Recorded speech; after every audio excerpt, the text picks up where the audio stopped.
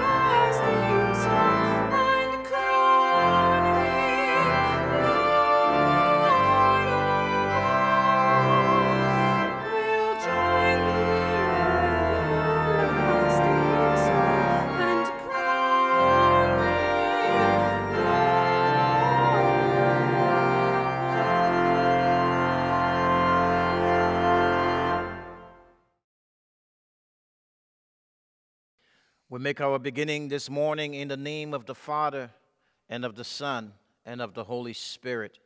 Amen.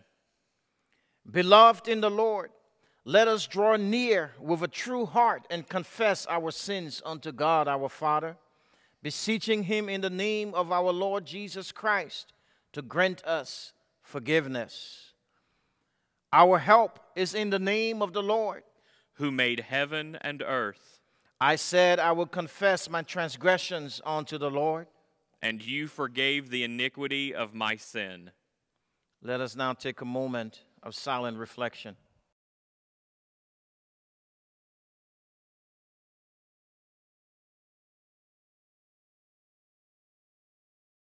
Almighty God, our Maker and Redeemer, we poor sinners confess unto you that we are by nature sinful and unclean, and that we have sinned against you by thought, word, and deed. Wherefore we flee for refuge to your infinite mercy, seeking and imploring your grace for the sake of our Lord Jesus Christ. O most gracious God, who has given your only begotten Son to die for us, have mercy upon us, and for his sake grant us remission of all our sins. And by your Holy Spirit, increase in us true knowledge of you and of your will, and true obedience to your word, to the end that by your grace we may come to everlasting life through Jesus Christ our Lord. Amen. Almighty God, our Heavenly Father, has had mercy upon us and has given His only Son to die for us, and for His sake forgives us all our sins. To those who believe on His name, He gives power to become the children of God and has promised them His Holy Spirit. He that believes and is baptized shall be saved. Grant this, Lord, unto us all. Amen. I say,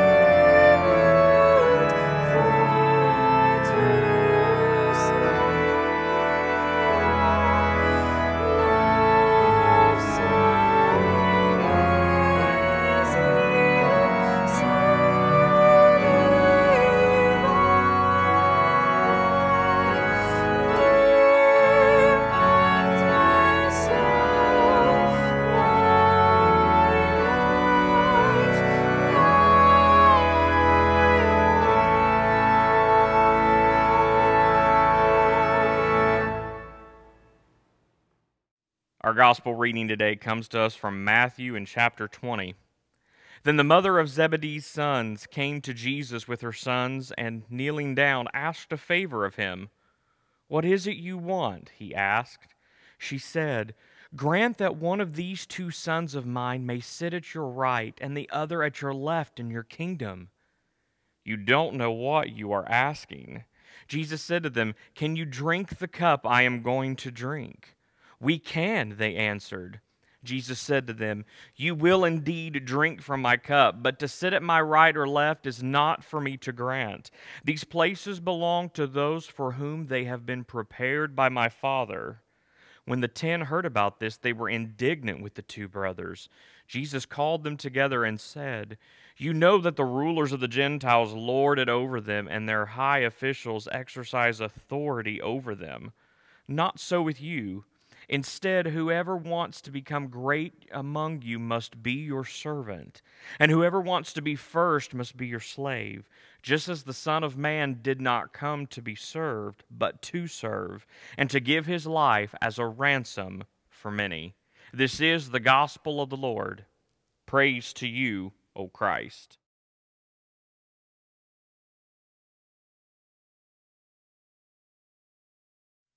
When I was in college, I was going to Bible college and I wanted to be a youth pastor. And the senior pastor called me into his office because he had something for me, and I was hoping it was a position as the youth pastor of the church. I was excited to walk into his office. And he proceeded to tell me and make me an offer, just not what I was looking for. His offer was that he would pay me $100 a month if I would clean the church. Now, granted, it's not as big as this church, it was a lot smaller.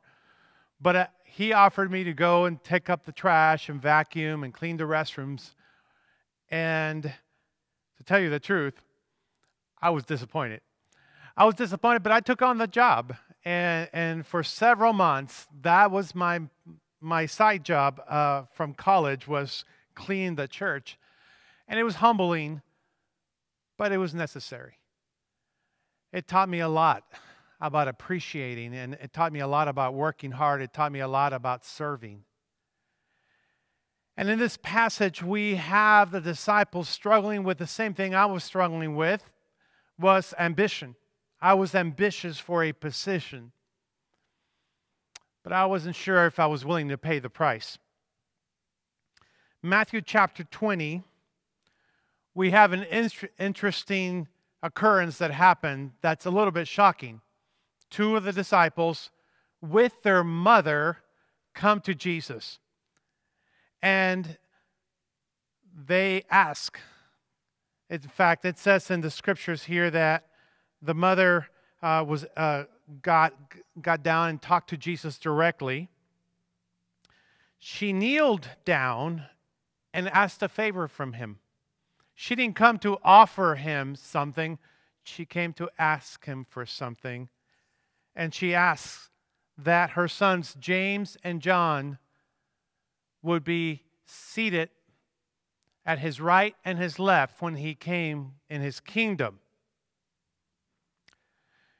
It's an interesting request because just before that, Jesus had been talking about the kingdom and he had told them that in the kingdom things would be really different.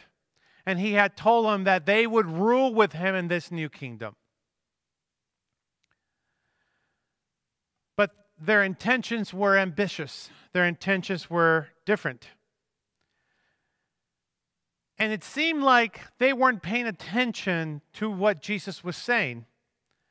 He clearly lays out when Peter proclaims him to be the Christ, the Messiah, the Son of God, he starts to teach him. So, this was not the first time they heard him say that he was going to go to Jerusalem. He clearly says to them, takes the 12 aside, and on their way to Jerusalem, he says, We're going to go to Jerusalem, and this is what's going to happen. He's prophesying to them. Big prophecy, not news to them, but he's clearly laying it out again. This shocking occurrence of what's, what's going to happen is that the Son of Man will be delivered given up to the chief priest. They knew there was a conflict for months and even years. There was a conflict between the religious leaders and Jesus, and they're always at odds. And Jesus kept on speaking and preaching with authority, and he would heal the sick, and he would cast out demons, and he, he would have the crowds coming after him. And then he would be challenged by the religious leaders. So there was this constant challenging back and forth, and Jesus would challenge them. They would challenge him. They would ask of what authority he had to teach these things and to heal on the Sabbath and, and to not have his disciples wash their hands correctly. Who was he? And he kept on speaking to them in parables and they were angry and they were threatened. And they were concerned about their power because the crowds grew bigger and bigger. And in fact, there were some who believed that Jesus was a prophet, and even some believed that he was the Messiah. For sure, the disciples believed that. So Jesus here speaks to them that finally it was going to come to a head. They were going to go to Jerusalem. They were going to confront the religious leaders, and Jesus would be handed over to them, they would hand them over to the Gentiles, in other words, to the Romans. And what that meant to the disciples was that there's no getting out of this. What that meant was imprisonment or death. Jesus says it clearly it's not imprisonment, it's death. The Romans would torture him and then crucify him. And then he would be raised to life. It was a somber moment. This was a very serious thing that Jesus is speaking to them about. But they could not reconcile how he speaks of this coming government that he was going to establish in Israel and this other horrible occurrence of his death, of his torture, um, being given over to his enemies for them to do what they want and to finally kill him. They did not understand how they were reconcile both, but Jesus told them, I would be raised to life. And so, though they heard it, they really didn't get it.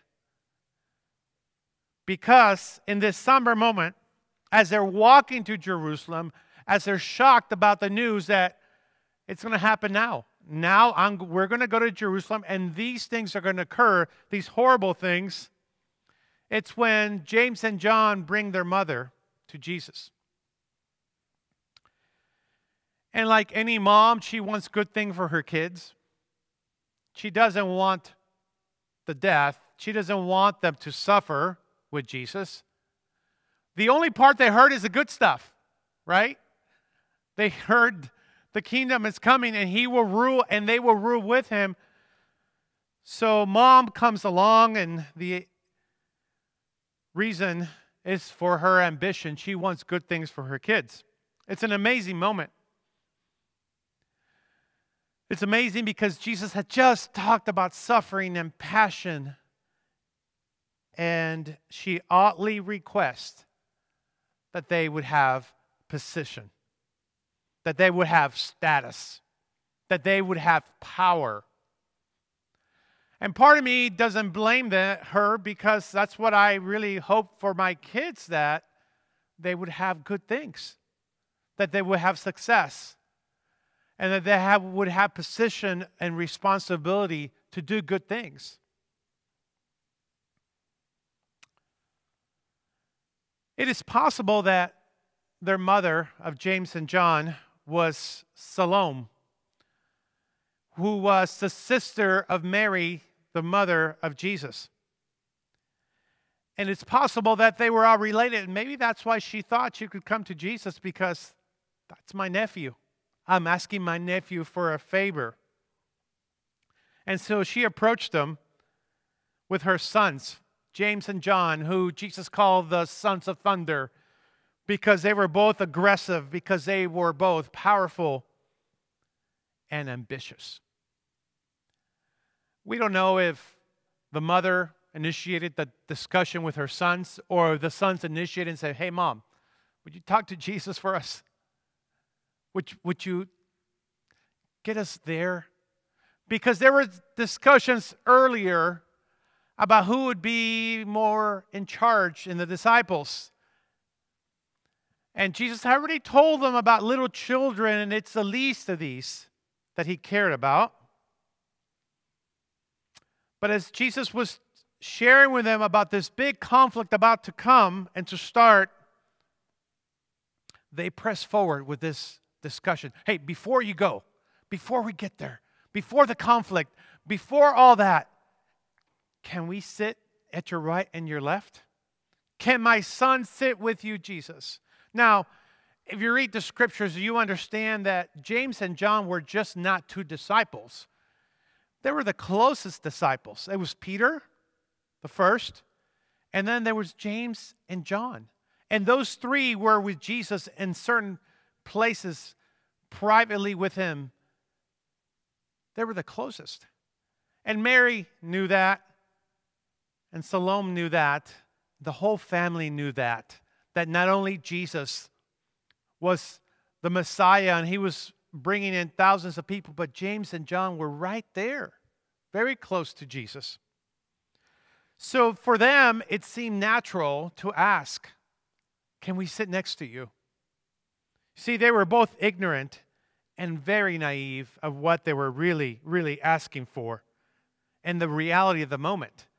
This was not a moment of power grabbing there was a, this was a moment of compassion, of Jesus speaking of the suffering he's about to have, and they're only thinking about themselves. That's what happens with ambition. We get too focused on power. We don't want to focus on the suffering. It's like my son at the beginning of last summer when I said, Hey, we can mow some lawns and make some money. What do you think? He goes, Yeah. I, and I said, we can share in the, the profits. And he goes, says, yeah, that was exciting. And then we went out to mow the first lawn, and he wasn't as excited. We mowed the second lawn, and he wasn't that excited after that. And by the end of the summer, he didn't want to mow lawns anymore. Or it's like my daughter who wants to be part of the National Honor Society, and she's smart enough to make it at school, but she did not want to do the homework and the work. She made it, but it cost her a lot more than she thought. Success has a price. Power has a price. And the truth is is that James and John didn't really understand what they were asking for. Mom did not know what she was asking for. Mom didn't want her sons to be persecuted. She didn't want her sons to be killed and to die and to be tortured. So she did not realize what she was asking, and neither did the disciples. They respond with, Yes, we can. Because she's, are you willing to drink of this cup? Are you willing to experience what I'm going to experience? And they're like, Yes, yes. They didn't know their future. But Jesus did, and he says to them this prophecy yes, you will, for sure. You will drink this cup. You will go through what I went through, or will go through. But those seeds of seating at the right and the left are not for me to give. That's up to the Father. So they got the opposite of what they were asking. In a sense, because they were told that they would suffer, but they are not assured of the right seat and the left seat. They don't have any advantages. And they thought they might because they're somewhat related, because they're always with Jesus, because mom asked, maybe. No, there is no advantage because of the family, because of the history. James after the resurrection, ended up becoming the pastor of Jerusalem, of the church in Jerusalem. And so he had a very strong, prominent position with the church. So he did end up with power and prominence, but he was also captured and tortured. James was the first disciple to be martyred, he was beheaded. So, did he get what he wanted? He wanted more power, he wanted more prov- providence. Yes, he did. And Paul, therefore, warns us to be careful with selfish ambition.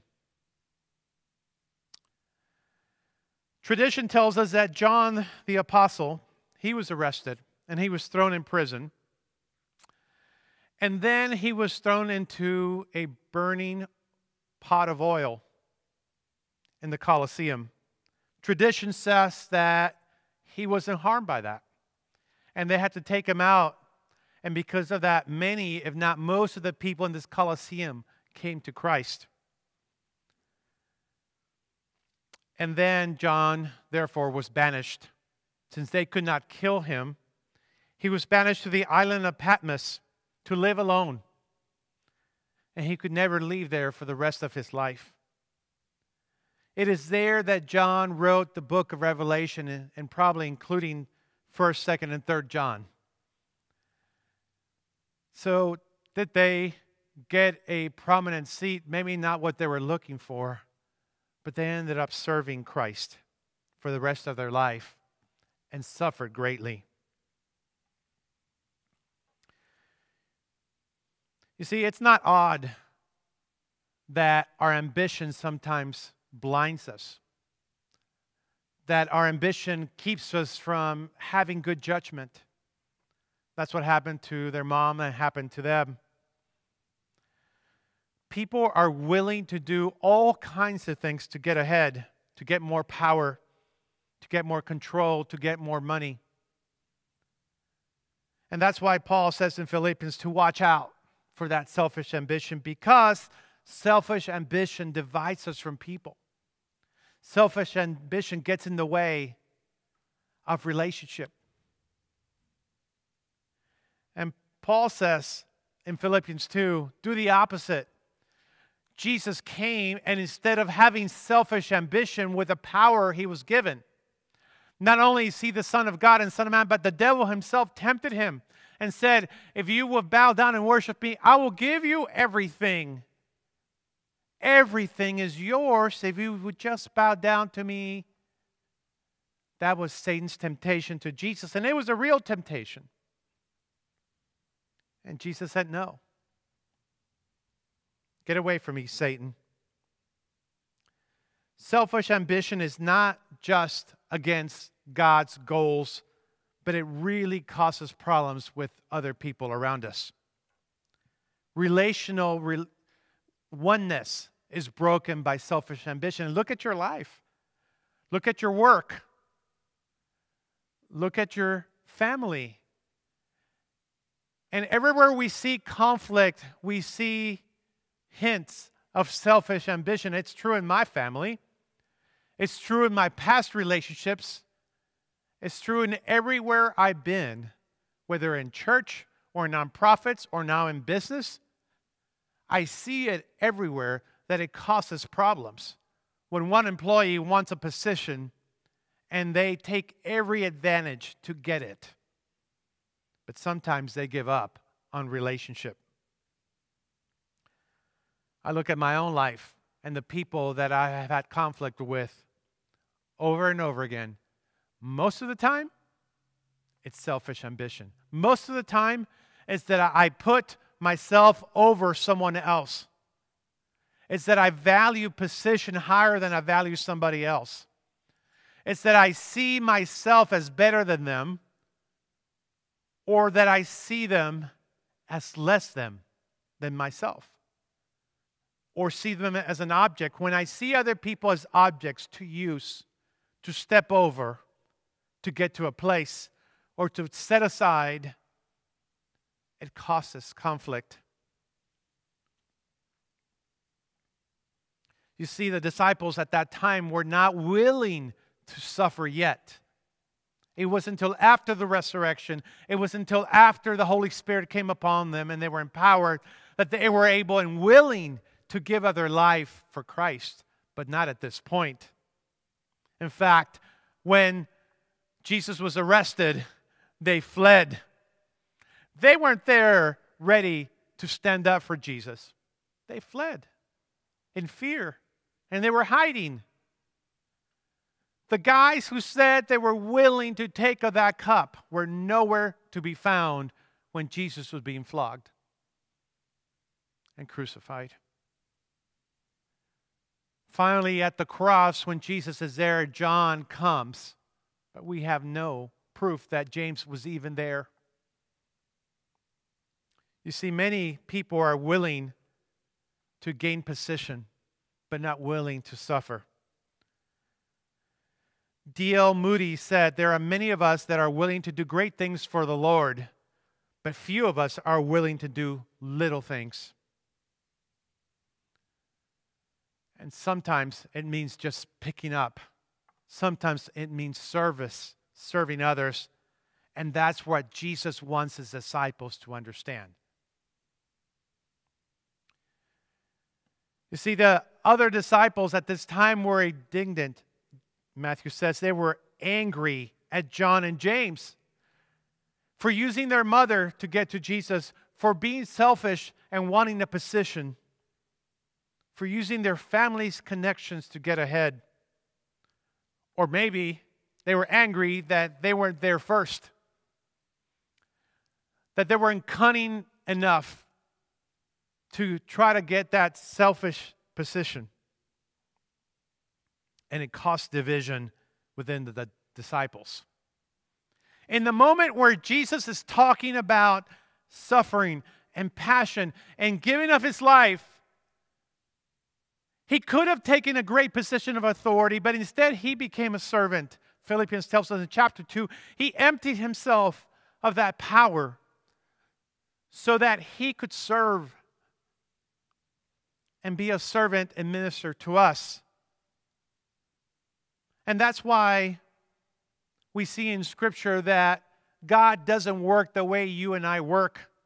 It's not by getting more education. It's not by getting more power. It's not by getting more money. It's not by getting more control. It's not by getting more status or getting more stuff. That's not what impresses God. What impresses God is humility and service. And for some of us, we need to divest of our things that we have and responsibilities that we take on so that we can serve God more. We are so busy getting more that we can't give much to God. So, this passage here, Jesus tells us that in the midst of this shocking moment of his death and burial and resurrection, he explains to them the difference between the kingdom and the world. In the world, it's, he uses this, he says, the authorities, they lord their power over you and others. The high officials exercise authority over them and they know this is true. They've seen it. They saw the Roman soldiers and they saw the tax collectors like Matthew. And, and then they saw the religious leaders who would take on more for themselves and use their position and their power for their own glory, for their own status, and for their own money. And he said, That's the way the world works, but not so with you. In verse 26, he says, Not so with you. Instead, whoever wants to become great among you must be the servant. And again, this is another part of Jesus' shocking teaching that this is the way kingdom works, opposite of the world, opposite of the, how you think. It's, op- it's so counterintuitive to the way you and I work. Because the way you and I work is if you want something, you go and grab it before anybody else does. That's what we're told, that's what we're taught. That's how we feel inside because that comes from selfish thinking. A mindset that believes that in order for me to get, I have to go and grab it. Jesus said the mindset's wrong. That's not how my people, my followers, my kingdom works. In his kingdom, his the mindset of a believer is in order for me to get, I have to give. In order for me to be first, I have to be last. In fact, he says it this way and whoever wants to be first must be your slave, just as the Son of Man did not come to be served, but to serve and to give his life as a ransom for many. Jesus is telling James and John and the rest of the disciples who all are ambitious, they all want position. They follow Jesus for three years and they're still thinking about their own gain. This is insidious to who we are. It's part of our sin that we constantly are struggling and fighting against this bent inside of us to think about us first. And Jesus gives the example for, you know, if, if you want to be first, if you want to be ambitious, if you want to have position in the kingdom of God, you must give, you must serve, and you must be last. That's the economy of God. That's the government of God being established right here, right now, in your life, in my life. If, that, if we want to be first before God, then we must be last.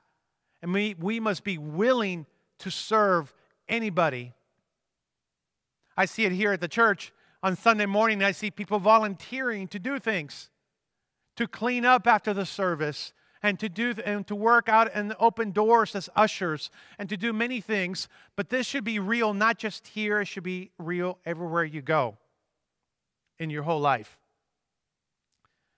For Jesus Himself did not come to be served, though He deserved it, though He had the position as the Son of God, as the deity, the Messiah, the King. The King himself made himself a servant, not counting equality with God to be something to be grasped after, and went to the cross and gave himself for you and I. So that you and I could receive the blessing of that service and be reconciled to God and then be reconciled to each other. Selfish ambition not only hurts our relationship with God, it hurts our relationship with our brothers and sisters and those around us. Instead, what heals those relationships, what heals those things is service.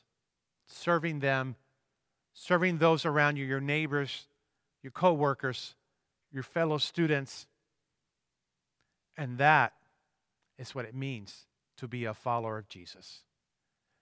May the God of heaven, who gave up his Son for you, inspire you and move you through his Holy Spirit to serve others as you serve him. Amen. We confess our faith now together in the words of the Apostles' Creed. I believe in God the Father Almighty, maker of heaven and earth, and in Jesus Christ, his only Son, our Lord, who was conceived by the Holy Spirit, born of the Virgin Mary, suffered under Pontius Pilate, was crucified, died, and was buried. He descended into hell. The third day he rose again from the dead he ascended into heaven and sits at the right hand of God the Father Almighty. From thence he will come to judge the living and the dead. I believe in the Holy Spirit, the holy Christian church, the communion of saints, the forgiveness of sins, the resurrection of the body, and the life everlasting. Amen.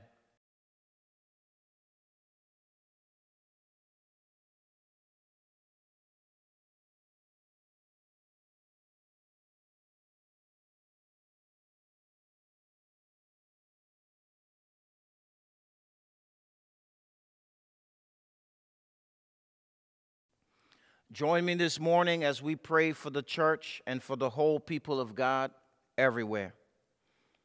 Most gracious and everlasting Father, Alpha and Omega, the one who was and who is and who is to come, the God who neither sleeps nor slumber, have mercy upon us, O God and blot out our transgressions.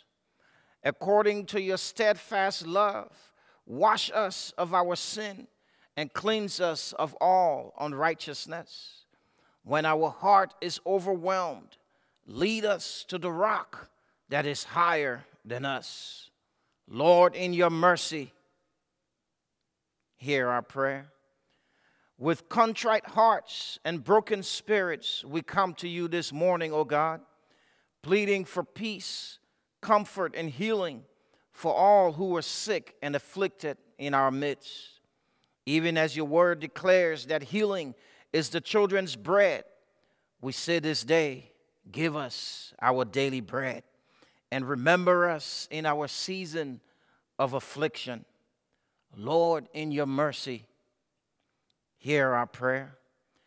As it is no secret that as a nation, as a people, as a church, and as a family, we are faced with some of the most trying and uncertain times our world has ever seen. We pray for wisdom, for understanding, for tolerance, and for reconciliation in this hour, Lord. Even as we are concerned about safety and order and peaceful coexistence, I pray that you cause us, the church, the ambassadors of Christ in the earth, to be equally as concerned about justice, about equality, and about righteousness. Break our hearts for the things that break your hearts. Break our hearts for the things that break yours.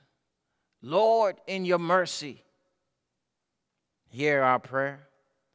Once again, we present our families to you, Lord Jesus. Keep them, protect them, and deliver them from all evil, seen and unseen.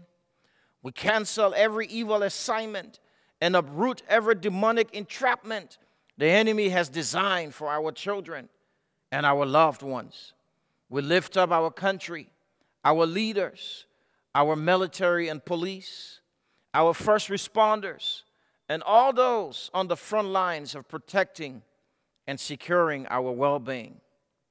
Remember them, O God, and let there be a prodigious outpouring of your grace, mercy, peace, love, and protection upon them all. May they feel you nearer to them every hour of every day in every way. Lord, in your mercy, hear our prayer.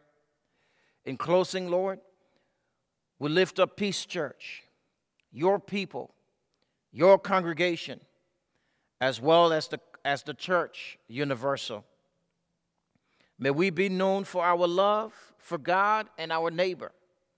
May we embrace your call for our lives and learn to walk upright before you, showing mercy, loving justice, reflecting your great love, and spreading the good news of our Lord Jesus Christ, who taught us to pray when we say, Our Father, who art in heaven, hallowed be thy name, thy kingdom come, thy will be done on earth as it is in heaven. Give us this day our daily bread and forgive us our trespasses as we forgive those who trespass against us. And lead us not into temptation, but deliver us from evil. For thine is the kingdom, the power, and the glory forever and ever. Amen. Now, hear these words from Jude to him who is able to keep you from stumbling and to present you before his glorious presence without fault and with great joy. To the only God, our Savior, be glory, majesty, power, and authority through Jesus Christ our Lord before all ages, now and forevermore. Amen.